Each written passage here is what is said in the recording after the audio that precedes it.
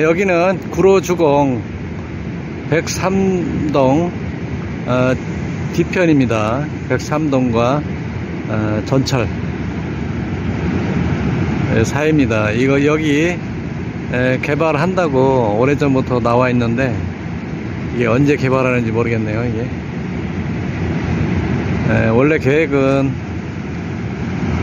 이게 이사 광명으로 이사를 가고 여기에 전철역을 신설한다고 그랬었는데 아직 진행이 안 되고 있습니다. 이 부지가 실제로 와서 보니까 어마어마하게 큽니다.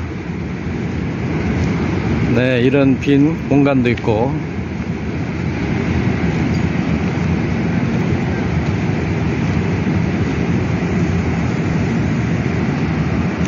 이 안에 부지도 실제로 이사 이전을 하게 되면 에, 상당히 공간이 많죠. 이 전체를 주상복합이나 뭐 이런 거로 개발을 한다고 했는데 아 참 아깝네요. 많이 아까워요.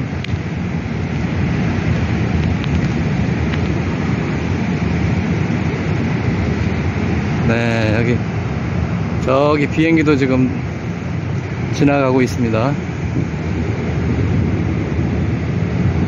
여 근처가 안양, 안양천만 넘으면 광명이라 예, 이 길로 비행기가 지나가는 모양입니다.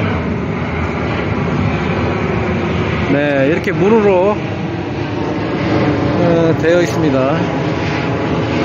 이렇게 관리를 했었는데 예, 지금은 문을 개방해 가지고 여기다가 주차도 이렇게 하고 있습니다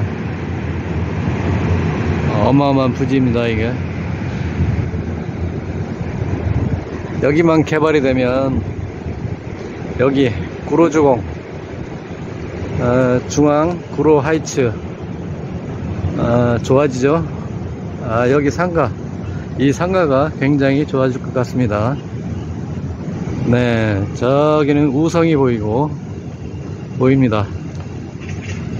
많이 아깝네요, 이 부지.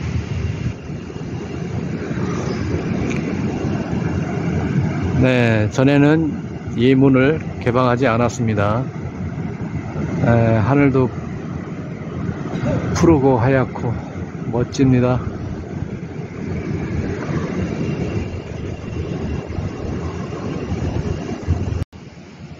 네, 이렇게 도로가 서부 간선이죠. 이쪽 방향이. 서부 간선에서부터 시작해서 이렇게 큰 도로가 이렇게 큰 도로가 여기 막혀 있습니다. 이렇게 막혀 있다는 것은 언젠가는 이 도로를 연결이 된다는 겁니다. 이 도로가 지하로 연결되든 지상으로 연결되든 연결됩니다. 단지 시간이 언제인 줄은 모른다는 거죠 10년이 걸릴지 20년이 걸릴지 아 그러고 보면 지금까지 한 20년 걸려서 이렇게 왔나요? 2, 30년? 뭐 앞으로 10년이 걸릴지 20년이 걸릴지 모르지만 에, 개발은 될 겁니다. 아, 그때 되면 장기 투자한 분들은 돈을 많이 벌 수 있습니다.